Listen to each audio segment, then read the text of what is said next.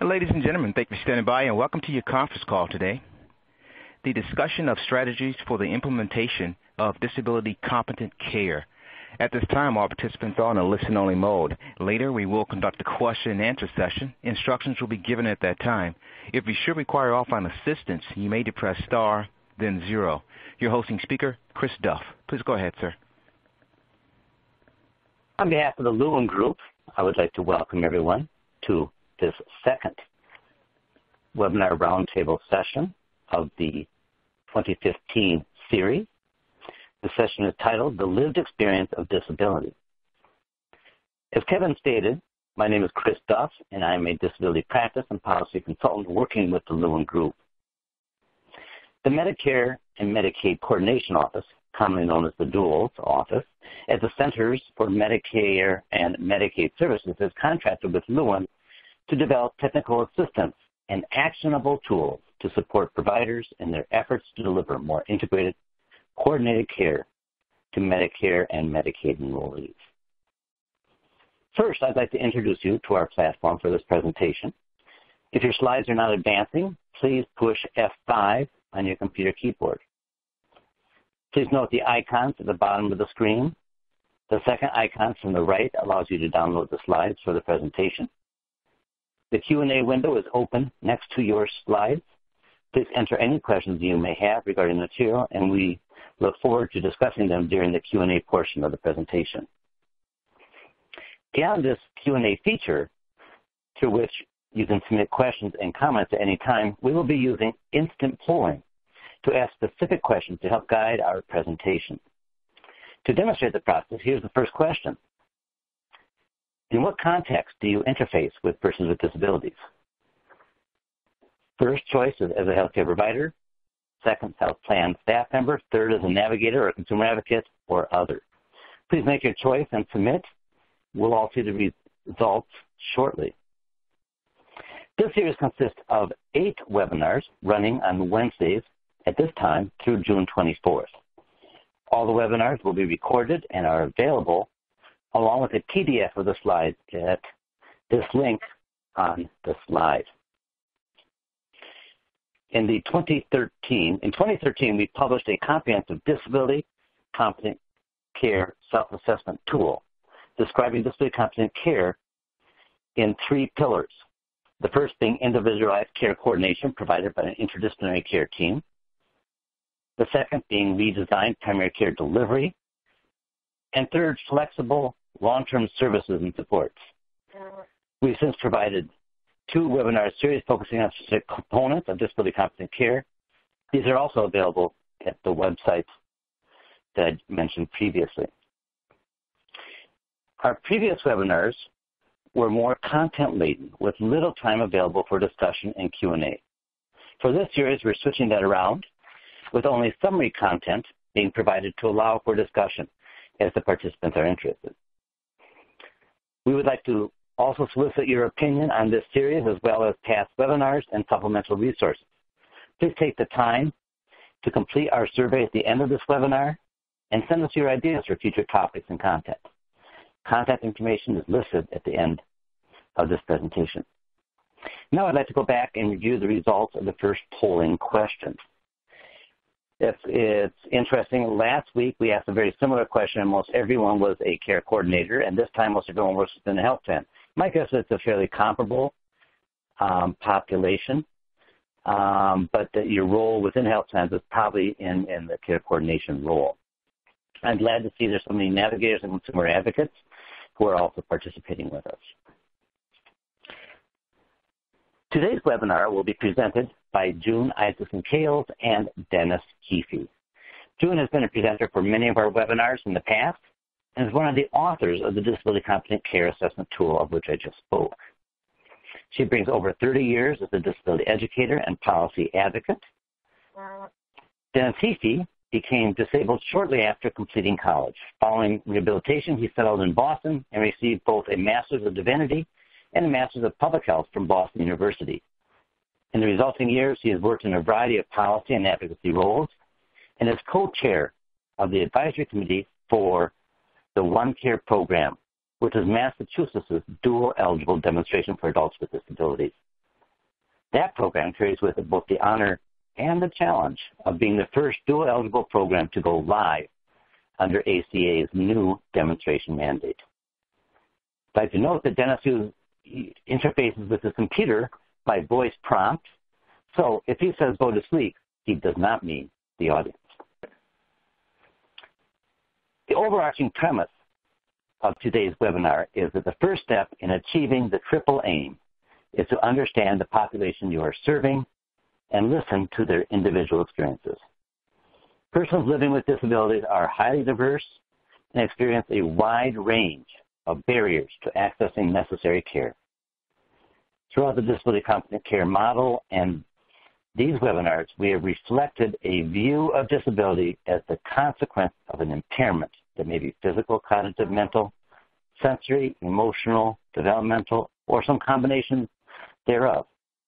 It is not based on a diagnosis, but an impairment of function, and may be present from birth, or, or there could be an onset during the person's lifetime. To provide further context, I'd like to ask one more additional polling question at this point. Regarding your familiarity, regarding your familiarity with disability, please choose one of the four below, and, and feel free to actually choose more than one. This will give us a sense of, of um, kind of your experience with disability as a whole. While you're choosing that, um, I'm going to go ahead and turn this over to June and Dennis for their presentation. Okay, well, hello.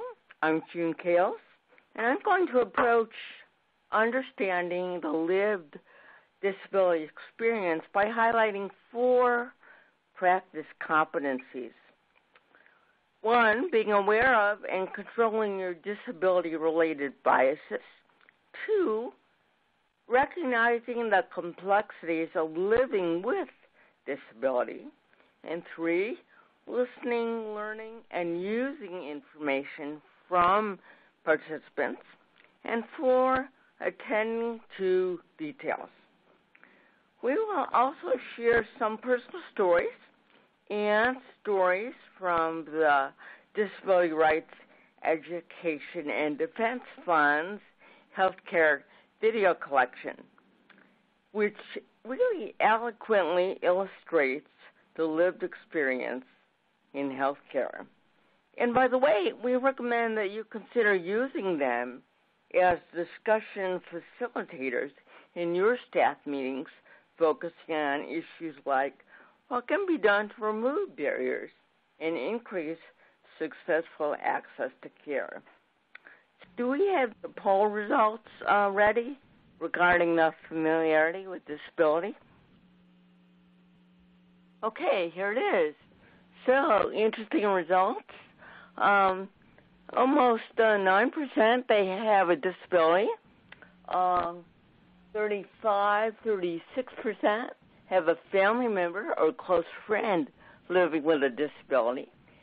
73% have experience working with people with disabilities, and 14% have had minimal or no experience interacting with people with disabilities.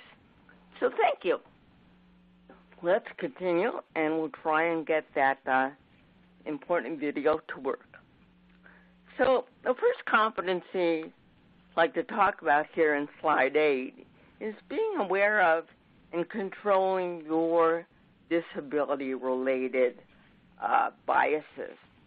And this competency includes understanding the importance of engaging in self reflection.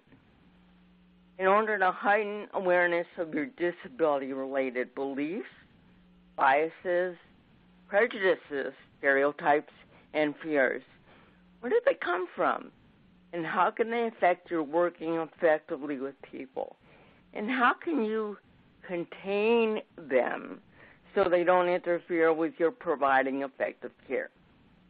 Some examples. It's common for people to equate speech disability with intellectual disability and to equate a disability with a lesser quality of life. Denise Jacobson tells in one of the video stories, quote, a letter that accompanied the lab results that went to my doctor for from the specialist of endocrinology and, and metabolism said, quote, we saw this unfortunate 57 year old woman, woman in our office, and my impression is she is far more intelligent than she looks to be. Fred Nisen, in another video, says, quote, that because of my speech disability, they assume they won't understand me, so they don't try. And some people don't think I'm intelligent enough to communicate with just because of the way I talk. And Larry Voss tells about, quote, the first surgeon I saw recommended a procedure which involves removing part of my pelvis and my entire leg because of the location of a tumor. And when I expressed lots of concern about this, the doctor expressed his opinion that he didn't see why that would make a big deal to me since I wasn't walking anyway and was a wheelchair user.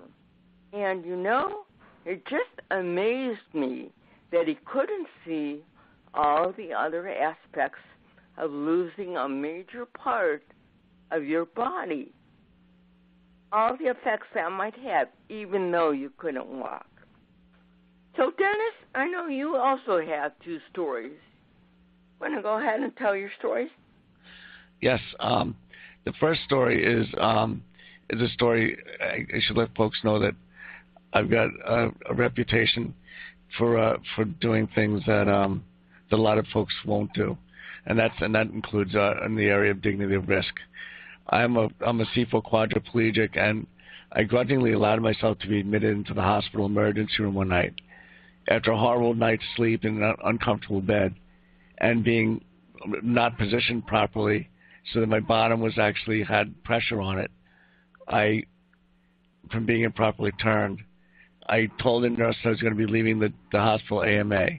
I'd already I already spoken to my personal care attendant, and had my personal care attendant getting me dressed and ready to leave the hospital.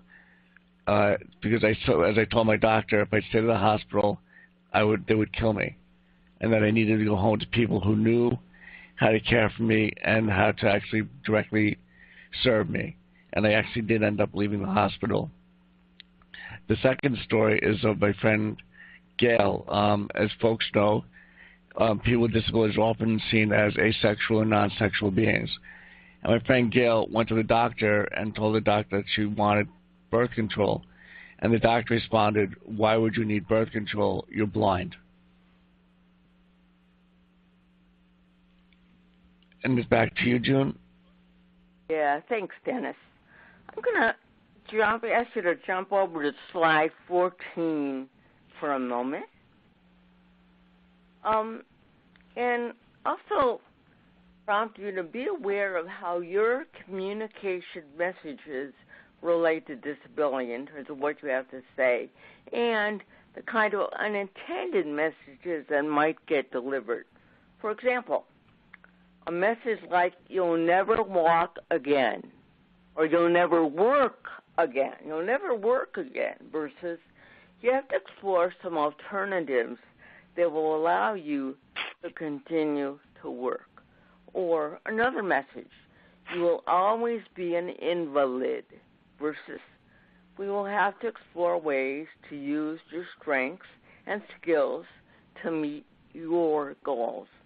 Now on the slide 14, there's an array of other negative messages that were really said to people, believe it or not, people with disabilities. I also urge you to go back and listen to the Sandra Jensen and Tom Strack story that we covered in the September 10th, 2013 um, webinar of the lived experience. So back to slide nine now. Another competency is recognizing the complexity of living with disability. People with disabilities, of course, are a diverse group. Varying in age, gender, sex, race, ethnicity, socioeconomic position, sexual orientation, and type of functional limitation. There are very high numbers of people with disabilities in Medicaid and Medicare and the dual pilot programs, but they're also well represented in by people enrolled in all other health plan product lines as well. So slide 10, this competency includes using the lived understanding, that is, that the lived experience is not about an exercise which artificially tries to simulate a disability experience for an hour by, for example, wearing a blindfold or using earplugs or using a wheelchair. The lived experience and diversity and complexity of living with disability is not easily duplicated or understood by those without a disability. So, learning from participants is key. So, on slide 11 makes the point so, barriers need to be recognized, as does understanding that some individuals, when it comes to healthcare, may have experienced years of, next slide, frustration, fatigue, failure, and fear. For some the, and some of this, for some, has really translated into lack of care, delayed diagnosis, and deteriorating health. Just skipping on the slide uh, 15, the next competency is really about listening, learning, and using information from participants. This competency includes effective listening. Always ask and explore with people what has worked for them. Make no assumptions. Ask questions. Listen to, respect, and incorporate their answers into your work appreciate and incorporate individuals' expertise that comes from the user experience.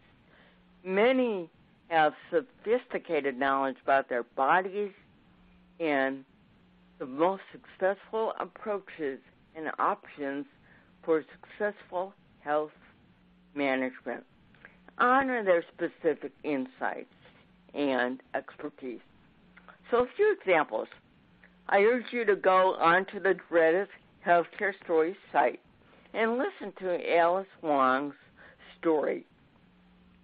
She has a level of sophistication that many don't have.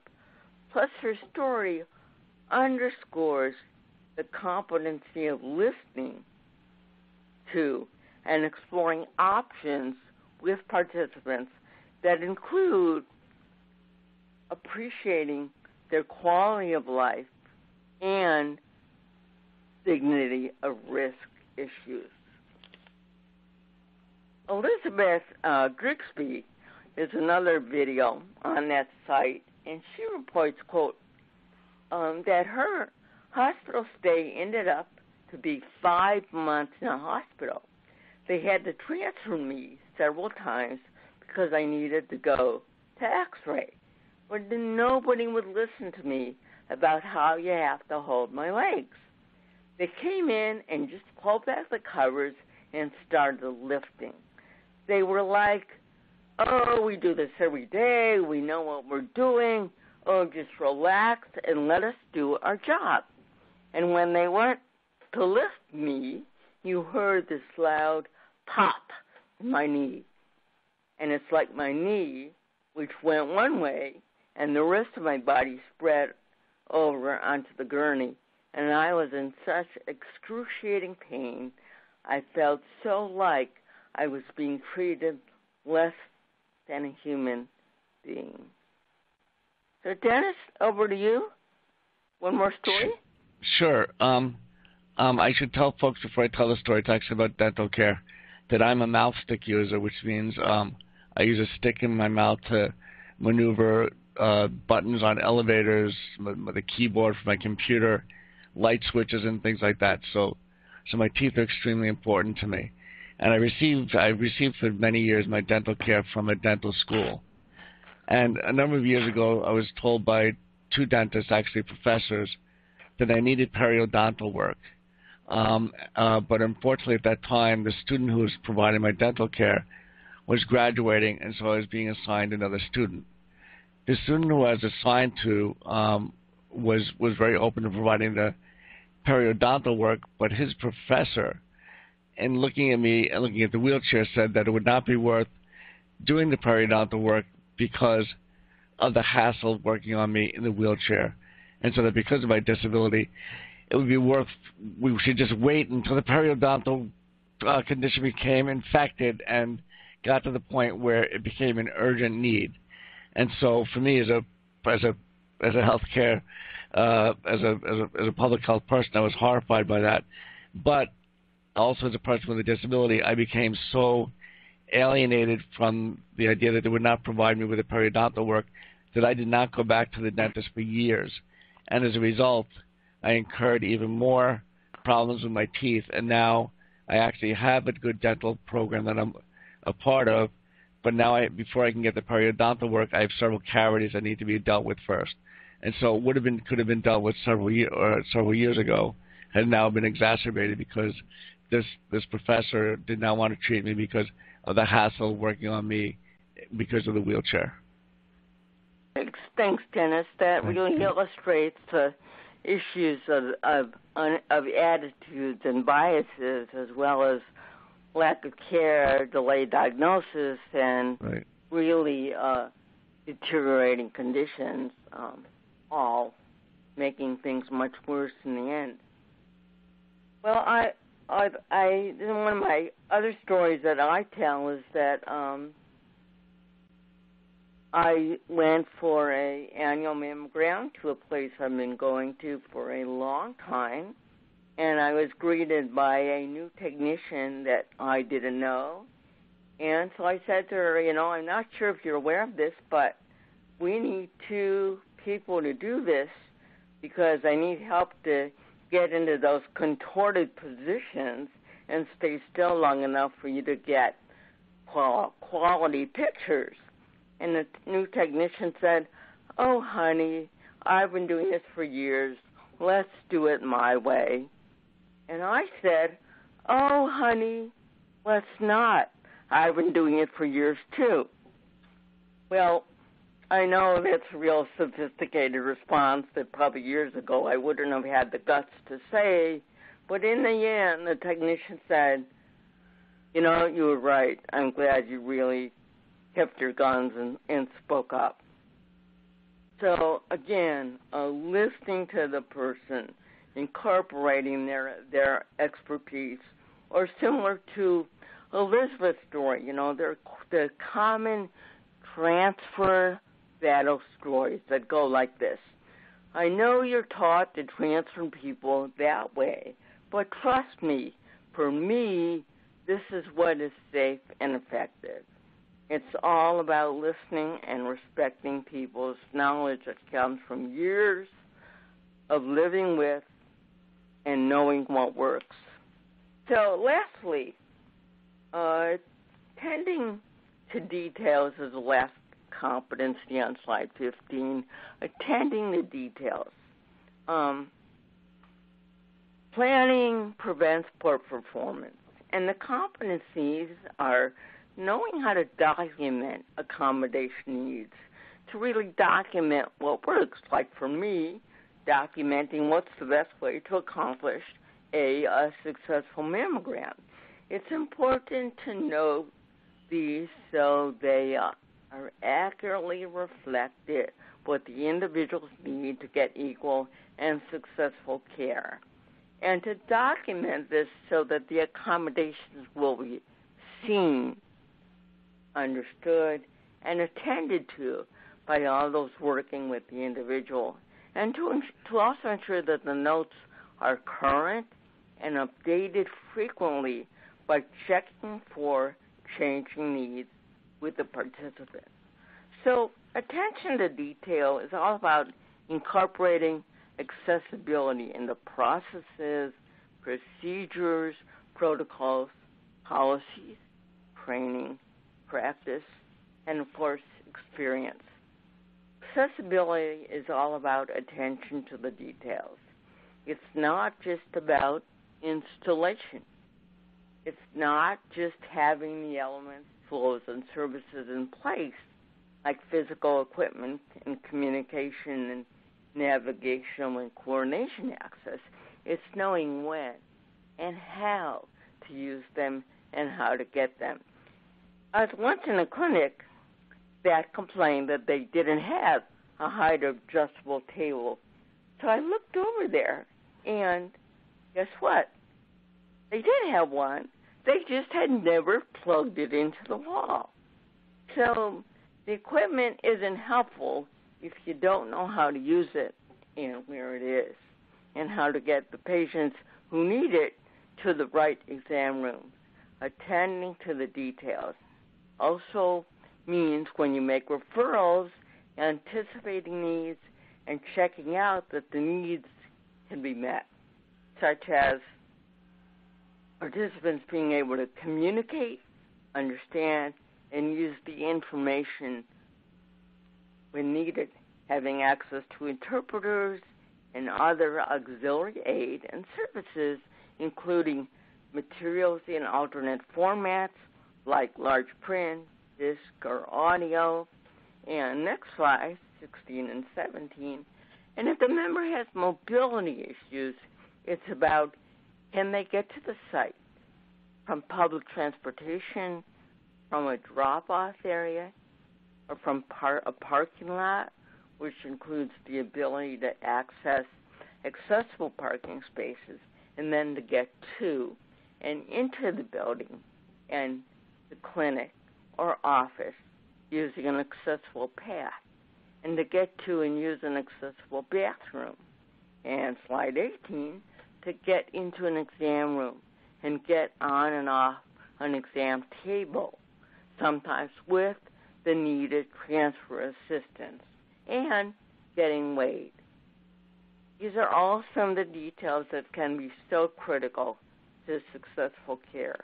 So, in summary, to end, adopt a can do, a can do attitude and approach that incorporates working with participants as partners, flexibility, and creative problem solving, and include these four competencies in your practice. Recognize the complexities of living with disability. Two, be aware of and control your disability related biases. Three, listen, learn, and use information from participants. And four, attend to the details. So I'm going to stop here. Chris, back over to you. Thank you, June and Dennis. I appreciate the uh, your comments here. Uh, I've learned behind the scenes that actually the video of Alice Wong was working fine for everyone except for the few of us presenters. So um, we're going to go back. I'm going to ask uh, the AT&T operator, Kevin, to go ahead and line that up again. We're going to actually show that video for the presenters. Just know that we're not going to be able to hear it and maybe not even be able to see it. Um, and then we'll pick up with questions after we're done after we're done seeing the video.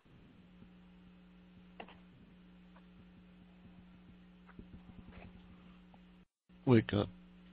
Mouse click. DREDF, Healthcare Stories. Alice Wong was interviewed at the Ed Roberts campus in Berkeley, California. My name is Alice Wong, and I live in San Francisco, and um, I'm a researcher. I guess my official medical diagnosis is spinal muscular atrophy type 2, which is a type of muscular dystrophy. Um, when I was around 18, I started feeling really ill, and what I didn't realize was that um, I had really severe sleep apnea, but I didn't realize it. And I got to the point where I was really, really sick, and basically had respiratory failure. So I went into the ER, really, really sick, really out of it, and totally disoriented due to my uh, respiratory failure. And basically, um, I was hospitalized, and they actually wanted to intubate me and put me on a ventilator. Luckily, I had the presence of mind saying, no, I don't want that. I want to know what are my options, and I want something non-invasive. And I'm really proud of myself for standing up to myself and saying that because I'm sure most patients would have been like, this is an emergency situation, do what you need to do. So they did say, well, you can use a BiPAP. Let's see if we can stabilize you. And a BiPAP is just kind of non-invasive ventilatory support. So it's like a mask they put to help you breathe instead of a tube. So luckily that worked. I have to be in the ICU for about two weeks. I got better and stabilized and began to use the BiPAP at night to treat my sleep apnea. And that's when I first started seeing a specialist, a pulmonologist. And what was really interesting is that in my appointments with him, he would say, well, you know, as you know, now you need the support at night. You might want to think about the future, you know, where your condition will progress. One day you probably will need 24-hour support. And I go, yeah, it dawned on me that this is obviously a sign that I'm getting weaker. This has never happened to me before, but this is a signifier that things are getting worse. Yeah, okay. So then um, he said, you know, you should really think about getting a, trach, a trach, a tracheotomy, and using a ventilator. He says, you know, many patients who use it, they are doing really well on it. And I was like, well, you know, I don't really need it now. I feel like I like using the BiPAP. I don't want to get too invasive. And this is what he said. He says, oh, is it an issue of vanity? And I was like, vanity? He's like, oh yeah, I understand you're a young woman. You might be concerned about how you look. And I was like, that is the least thing are really cared about. I mean, I was concerned about infections. I was concerned about being dependent on a machine. I mean, what if the battery dies? And, you know, to me, that's really frightening. And I was trying to, you know, convey that these are my wishes, that in our conversations, in our long-range plan, I want him to know I'm the kind of patient that wants non-invasive um, measures as much as possible until I really need it. And I feel like it didn't really reach him because I guess, you know, why wouldn't a patient want an intervention? Why wouldn't, if he has other patients that do well on it, it's it might be hard for him to understand why a patient wouldn't want that. So that to me was interesting that there's this intersection of gender, where he thought it was a vanity issue, and to me that was totally like not on my mind at all. And it really annoyed me, and it really got me really angry to think that he was kind of condescending and patronizing that way, and not really hearing my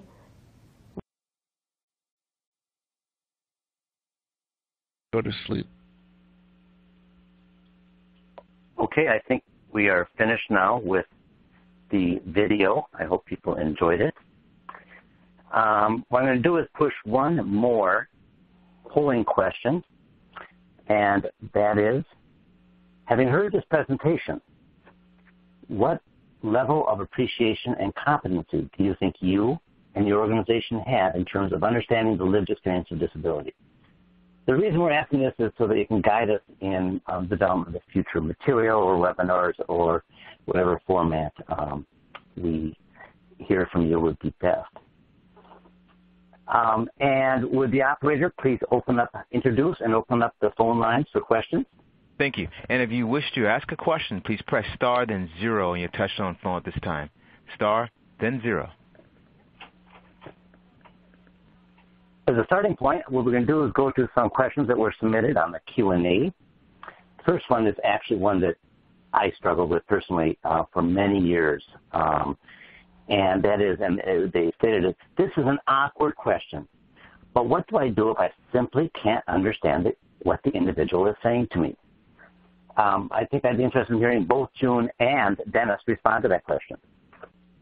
Okay, Chris. Well, I'll I'll go first. You know, it's a common issue. There's a lot of anxiety that develops when you can't understand somebody. Sometimes we I use humor and say that a CP accent is hard to understand. That's somebody with cerebral palsy.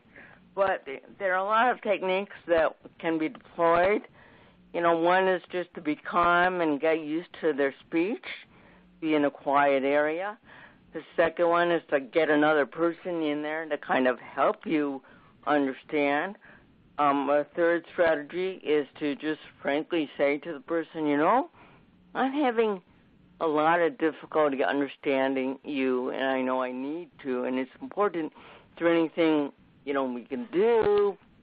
And thirdly, uh, would be to let's tell tell me, show me how you say yes. You know, can you wink or tap fingers? Show me how you'll say no. Um, just to develop some techniques or being able to point to pictures, all are things that, you know, in a pinch can begin to help a bit, but also to make sure that um, in a second appointment or another appointment that you allow for longer time and that you really do some problem solving about what's going to facilitate the communication.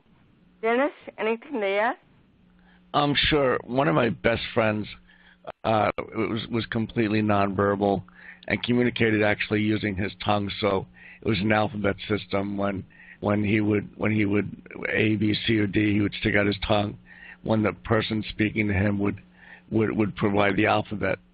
And I think for for my friend Jim, one of the biggest issues was was that was that the person who was communicating with him felt at ease and comfortable with being imperfect and and making making Jim as comfortable as possible in the situation because as frustrating as and uncomfortable it is for the provider, it's also the same thing for the person who experiences you know, some, the inability of having people understand him or her on a regular basis.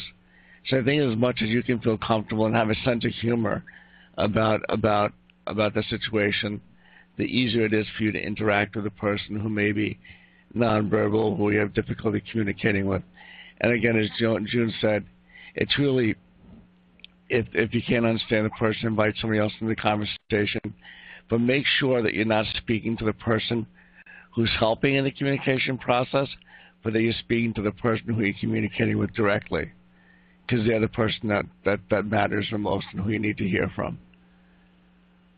June? I um I, I actually agree with uh, all those comments. I just want to add two kind of comparable. Um, Dennis mentioned um, the the tongue issue about going through letters. I've at times created a letter board, just handwritten out letterboard, and move my finger around, and the person acknowledge when I get to the right letter. So that's helped. That's a kind of a down and dirty thing, but it works. Um, another thing, and Dennis kind of referenced it also, is um, there was one person who uh, we worked with who really was um, had an attendant who really had was the ticket to communicating with him. Now it was really important that we not communicate just through the attendant, but that attendant had been with this gentleman for 20 some years and they had it worked out. They were clear, um, and that attendant would never allow us to communicate just with her. Um, but it, she, we actually would would have her go into the hospital with him when he was in the hospital in order to communicate with the staff, because he was just unable to get them to take the time to engage. So I'm not trying to encourage people to avoid interaction with the, the person with the disability but be creative and making sure that, that the communication does happen, I think is the important thing. We now have a question from Victoria Holcomb. Are there specific hospitals or healthcare facilities that specialize in providing special accommodations for people with disabilities? Uh, June, do you want to start with that? Sure. Can you repeat the first part of the question, Chris? are there specific hospitals or health facilities that specialize? Um, you know, I, that probably depends on you know where where you live. I think that the the most important piece, since we're talking about a very diverse group here, is to really check out and be clear about what the individual's needs are and then do the homework and the footwork to make sure that those needs can be accommodated. For example, in Dennis's story, you know, it's imperative that he have a certain kind of bed if he has to be in a hospital, and that he be curved a certain kind of way to avoid, you know, pressure sores that can make for awful complications. So to really check that out in multiple ways and uh, keep reinforcing it um, before the appointment or hospitalization as well as during. So I guess it's all about, you know, planning is key and never assume that even a hospital that may say we specialize in this or that, you know. When you're seeing a person with a disability, whether it's no matter what the diagnostic label is, you've seen one. Everybody is different. And so we can never assume that two needs would be the same. You want to add to that, Dennis? Um, yes, I guess I would ask if anyone knows a hospital that's got all these competencies. Please let me know because I'd like to go there. Uh, yeah, but I, but but but I, I, I what I what I would say is that if there's if if there are doctors or other providers whom you trust that have best practices and they work at a hospital, that you ally with them um, in providing care to the person with a disability um, who's going to be hospitalized, because because there there are there are best practices out there, and learning what those best practices are, I think, is is one way is one way to go. But also to work with providers who actually have the skills and background uh, is is, an, is another way. What, what I would add to what Dennis and June said is when I was building a a, a health plan to people with disabilities, um, the first place we first thing we did is we asked the participants, where would you go? What where have you found? What providers do you do you believe best meet your needs? Um, healthcare is so context based that you really need to, you know, one urologist is one urologist. Um, one hospital is one hospital. And so uh, the, our first step was always um, the consumers, peers of that person, and what they said. Another step was um, the staff who worked with those individuals. What was their observations and experience? What providers had the right beds? What providers respected the individual, and so on. That's also a very important piece. But I must remind you that it's really contextually based within the community in which you live. So there is no um, one answer by any sense. Um, the other thing you need to look at is what is the unique needs of the individual. Is is it an urgent care situation? Is it a a um, skin surgery? Is it a respiratory? Just as the rest of us, we need to have the right right facility that's skilled in meeting those needs. I can go on to another question um, from Kimberly Warset. She asked, are there laws about having advocates available in emergency rooms for people with disabilities? And I'll take a first out of that, and that is that um, consumers can um, choose who they want in the emergency room with them. Um, so that's the first line that you, you need to start with. June or Dennis, have you had any experiences that you, or have heard of any experiences that have been um, inconsistent with that? Uh, I I I have not, but it relates to what we were just talking about. I mean, whenever you can, it's it's really good to have a support person with you who you briefed on how to work with you as as an advocate, either with you or on your behalf if you're unable to do so. You know, knows enough about you to communicate your needs, what's going on, you know, both in an emergency situation as well as in the situation we just talked about in a hospital. It, things can go wrong, and it's always good to have some support there with you. Dennis, want to add? Yeah, I think sometimes uh, in emergency departments, the question will be asked, "Are you a family member?" And and and in situations where where we really need someone to be an advocate for us, you know, it doesn't matter who that person is, as June and Chris have been saying. It's a matter of that's a person who can advocate, you know, with us, and they don't need to be a family member. So I think regulations like family members only can can really be can really be harmful to the to the to the to the to the therapeutic process or whatever the person's needs are. I think also um, uh, to Kimberly's question, something we've not talked about in this presentation is is the needs of folks with with behavioral health with behavioral health conditions who uh, who may have have needs that go beyond just physical access. And we've not gone on into that in this presentation, and I think that's another topic we can talk about at another time. But that's it's also particularly important that folks, you know, of, with any sort of uh, disability, behavioral health need, have access to the advocates they need to get the care, the appropriate care there at the hospital or emergency department to get. Great. Um, Kevin, is there are there any questions on the phone line? Now let's try uh, Michelle uh, Natchin's line, see if she has a question. Uh, please go ahead. Uh, Michelle Natchin? And do you have a question? All right, no response from that line. Uh, just Perhaps remind, I waited too long. Sorry. Just to remind other participants, if you do have a question, you can uh, press star, then zero at any time on your touch-tone phone. Star, then zero. Great. Why don't we, um, Jesse, if you could put the polls for the last question, I, um, the last polling question for the responses.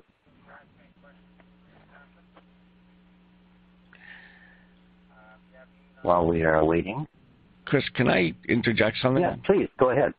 Um, I think we're, as we're talking about disability competency uh, in, of care, it's also important to bring into this competency in providing ethnic and and and, and bring ethnic and, and racial competency into this as well, because um, not all people with disabilities are white male or white female folks, and they and, and they, there are folks in different ethnic populations that, that you need to have competency in, in Spanish and and, and French Creole and, and other things as well.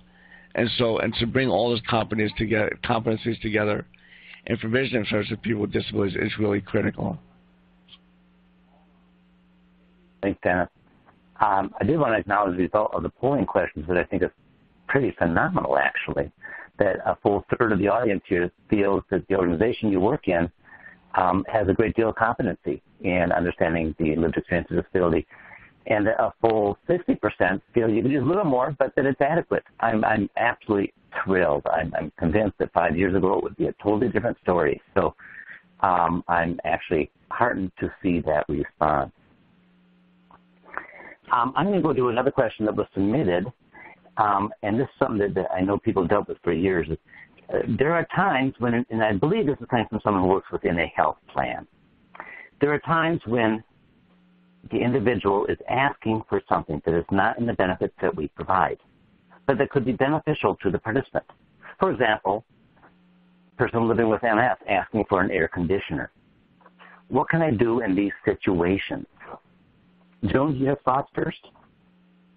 Dennis, I want to let you go first this time. Dennis? Yeah, I, I, I the, the long-term service supports should be seen as opportunities to to um, to provide health care to folks that goes beyond medical care. And if we limit LTSS to just a laundry list of of of, of provide, helping folks with their activities of daily living, and don't realize that people live in a larger context, then we're actually going to actually increase hospital costs and emergency department visits. I can tell you for myself that I don't have control of my own my own internal thermostat and that without an air conditioner, I I overheat and I need, and so I need that. And so I think it is critically important that healthcare plans, when they look at benefits, that they pro- they actually provide person-centered care and allow the individual and the, and the provider to define what the person needs, rather than rather than the plan benefit package. And so it's really about person-centered care. And I can tell you for myself as well that I needed a coughing machine because uh, I've been in bed. I've been in bed for a while uh, to to enable them to assist me with coughing. The benefit package did not allow for a coughing machine. Give, give a coughing machine uh, with with because I didn't I didn't meet I didn't meet the criteria. However, the plan I'm a member of enabled me to get that coughing machine because the provider indicated that it was important for me and my health. And so I think it's a matter of being flexible with what what the benefit packages look like, and thinking more about what the person needs rather than what the plan uh, deems as as just within a, a defined set of parameters. June, any comments? I would just uh, add that that often when you look at the big picture, there's an overall direct connect, you know, with health and with independence and with quality of life, but also with one's emotional and mental health, which can, again, is a direct connect to someone's health. You know, so I think whether it's a, uh, you know, an air conditioner or whether it's something that allows independent use of a leg bag or whether it allows for greater mobility both inside the home and outside in the community. There is there are multiple direct connects to One Health that um, go far beyond what what might be listed in a definitive list of, of benefits. So again, creativity and the flexibility in the investment and the return on the investment, and looking at that more broadly, again, in terms of the return, I think is critical.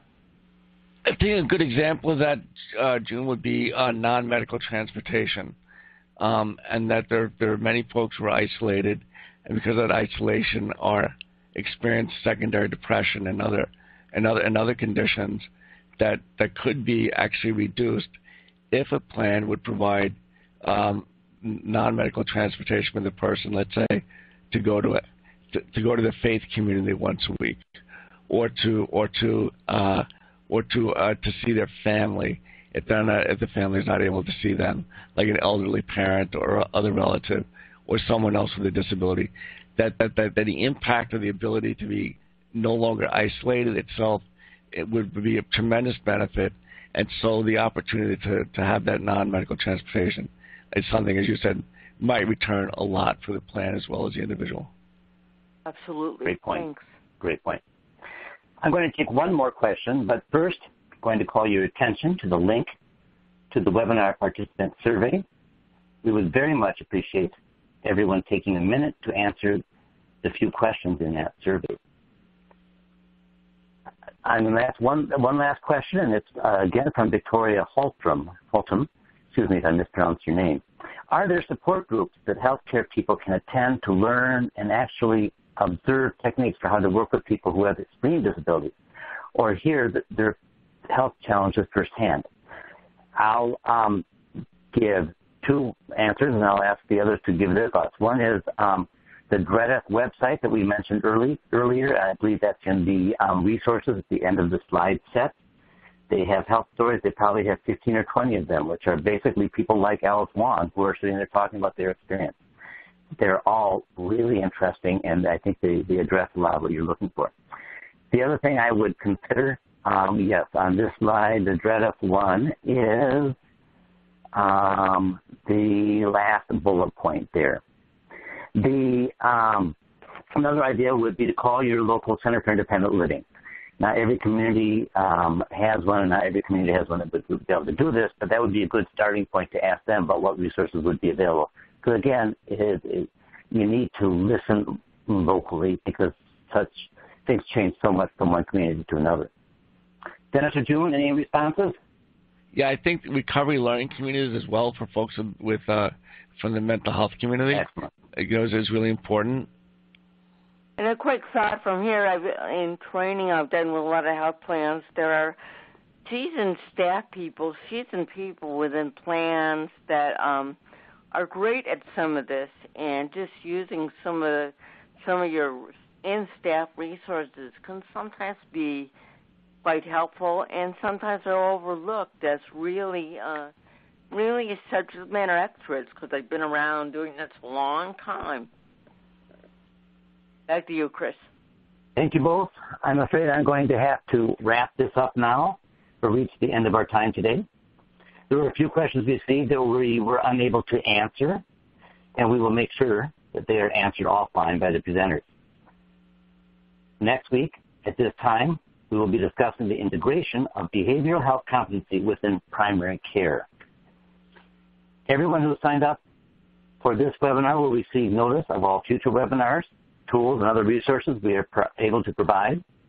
I would like to again thank our speakers, Dennis and June, for their presentation today, and we look forward to continuing uh, these presentations over the coming year in order to support the demonstrations that are going live across the country. Thank you very much. Thank you. Ladies and gentlemen, that does conclude your conference. We do thank you for joining while using AT&T Executive Teleconference. You may now disconnect.